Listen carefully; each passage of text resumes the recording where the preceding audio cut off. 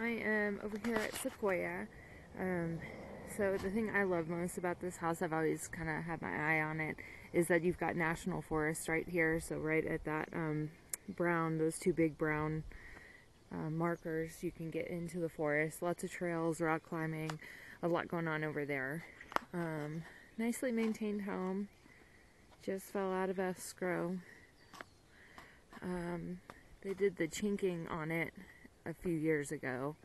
The roof looks like it's got a little bit of life left, but um, not brand new or anything.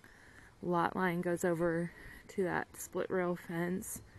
This is nice kind of RV parking and a couple sheds or boat parking. This back part of the roof looks a little bit older too. Nice covered porch.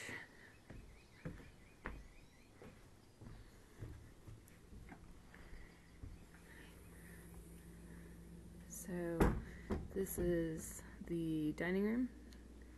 And they've also got the fridge from the kitchen in here.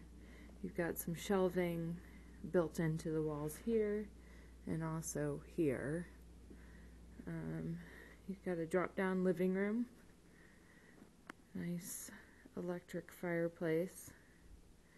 And then this goes off to the front of the house.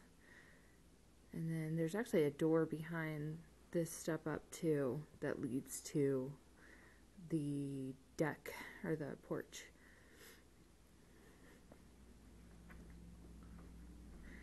You go into the kitchen. Nice farm sink. And it goes into the bedroom.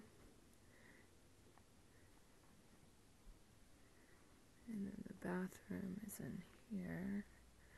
So it's a nice three-fourth sized bathroom with a window looking out to the forest too.